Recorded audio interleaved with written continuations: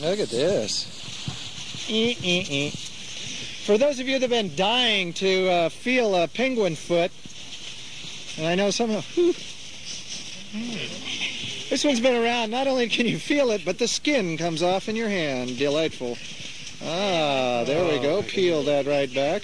With rather impressive Mm. claws here, nails. But they do feel the claws. I mean, they're well. This guy's really degenerating quickly here. The wings? I don't know. The it wings are smells pretty bad. Whoo wee. Now, you just touch it and then smell your fingers. It's delightful.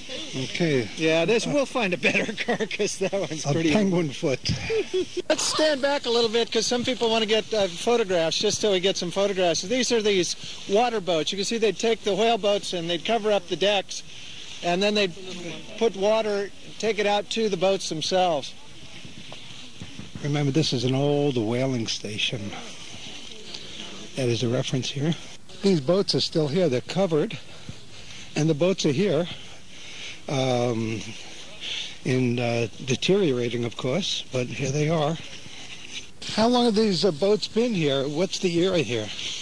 Well, the Hector Whaling Company opened up in the 13-14 season and was closed down in 32. So everything that's here that has to do with the whaling station uh, was uh, left here at that time. However, since then, the British Antarctic Survey has been in here. They had a major survey effort out of this area in the 50s, late mid to late 50s, early 60s during the International Geophysical Year. And um, the Argentines and the Chileans and the British have off and on claimed various parts of this um, this island. Okay. Larry was just saying, and I certainly have to agree, there's an eeriness, uh, the, the fog, and well, if you can see just uh, just uh, little buildings and shacks and various structures and just off in the mist. This is a male, pretty good sized one. What is the little one? What is the little one? We're looking at a Weddell or a Weddell seal. Oh, it's a fur seal. I did recognize him. It That's is, great. Isn't it? This is a- spotted a fur seal. Sub-adult male fur seal there. Yeah, Off to the these are- right. These are the guys, the the ones that we want to keep clear of. Which one, the big one or the small one? The small one. They're Okay, the off to the right. Much nastier than One the big fur seal. They can bite through all your layers of clothing. Oh, well, you better watch out, Marcia. You took your coat off, your parka. Marcia Green uh, took our coat off for Parker. and It's, it's a beautiful day. With those whiskers. This the big one, the Weddell seal, just looking at us, and seal back behind we don't want to get close enough to the fur seal to see if they're looking or not. Much nastier. You know, maximum of Smaller but nasty, the fur seal. Larry says this fur seal, very unusual that it's here now. It's probably a non-breeding male at about a thousand pounds. And Marcia just said that uh, fur seals are born snarling, so we're keeping our distance here. Right now we're walking over fresh ice. Uh, it's a little slippery. Uh, first slippery ice, we have to be careful. It's watery. Marcia's slipping and sliding along, so we have to be pretty careful here. Brand new. It's almost like this whole trip has been programmed. Uh, when it was time for us to see whales, we saw whales. When it was time for us to see the penguins, we saw them. The ice came along right on time. Uh, now a fur seal shows up. It shouldn't be here now, but it is. And we heard that we probably wouldn't see any. Folks, this is a perfect, perfect trip. Everything we came to see, uh, we're getting to see. And I hope I'm passing this on uh, so that uh, we all appreciate it. You can almost hear the ice as we walk. I don't want to trip and lose our equipment here.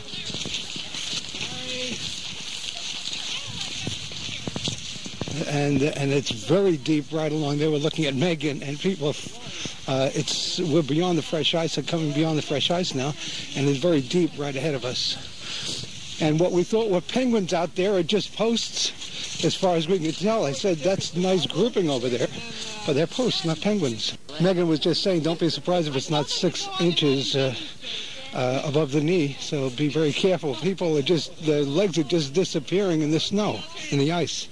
I hope you can. I'm going to let the mic run a little bit so you can hear the, the maybe you can get the the depth of the snow here. Listen.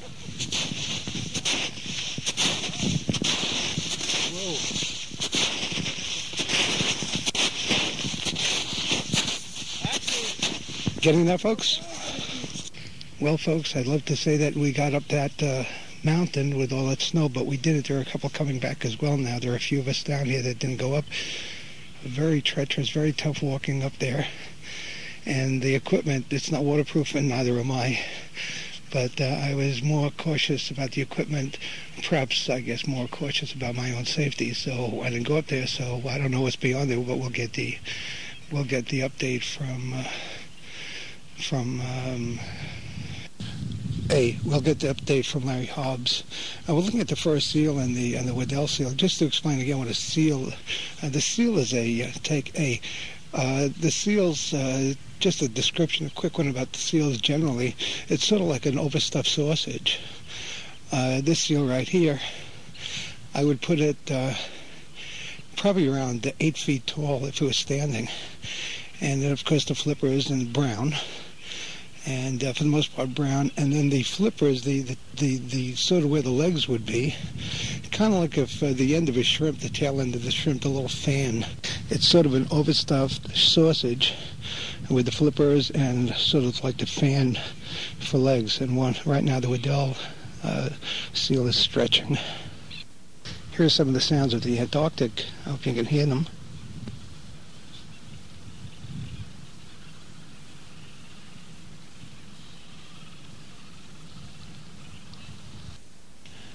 I've uh, I'm by myself. We're all by ourselves here. Uh, all the folks have gone up over the mountain. A couple of us stragglers uh, came back along the beach. Uh, I'm sitting on one of these boats, one of the water boats, and uh, what I was hoping to find over here is quiet, and we're going to hear that quiet in a moment. But I'm thinking about uh, my friends back home, back in New York. I'm thinking about my listeners, you folks.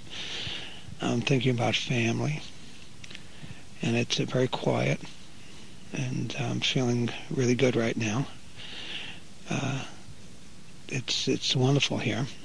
I'm thinking about my daughter Kimberly, um, and hoping she's doing well, and of course mom in Florida, and uh, and that's what's happening right now. I'm going to let you listen to the quiet a little bit, and then. Uh, I'll go back to my meditation and uh, listen to the quiet for a moment and see what this uh, brings to you.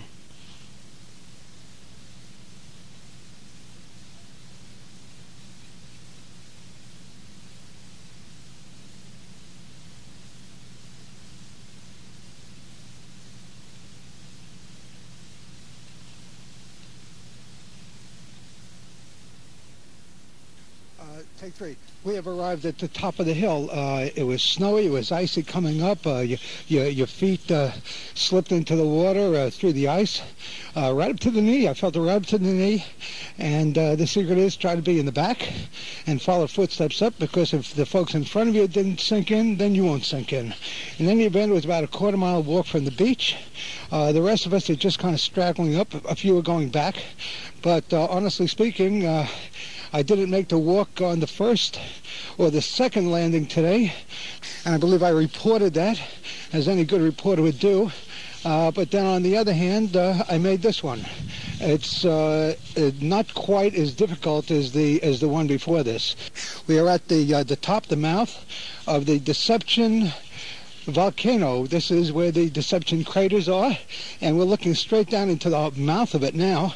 And the, the one we're looking at right ahead of us and down below, about, oh, gee, I won't even venture guess how many feet, uh, is the eruption of 1969. Then another bowl a bowl uh, was the 1970 eruption. So we're looking right down into the mouth of the crater. So uh, that's where we are right now.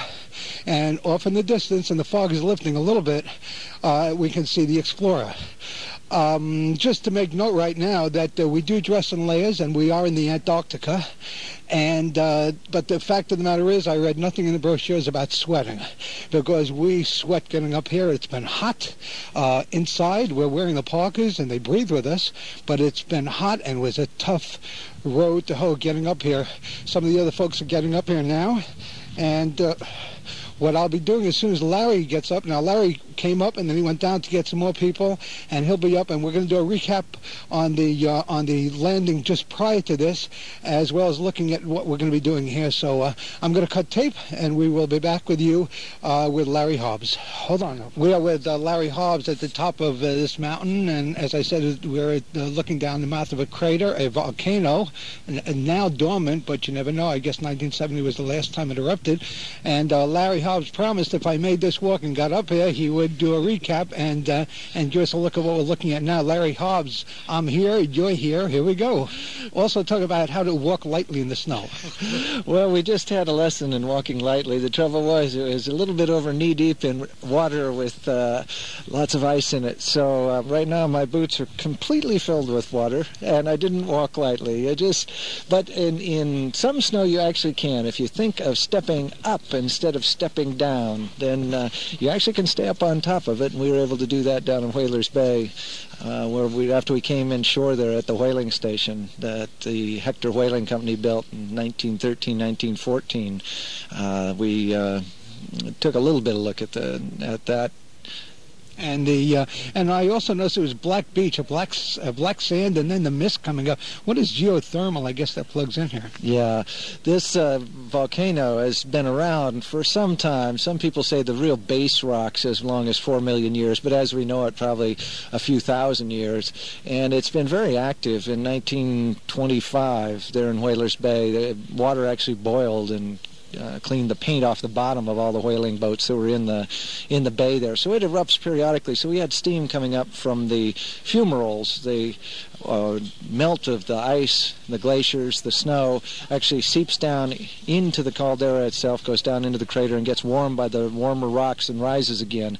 And that's what we're getting here. So uh, just got a report from Matt that over at the swimming hole, it's it's looking pretty good. That's where the warm water comes from. There's some swimming. Okay, now uh, and the black sand, the black beach. Uh, what is that?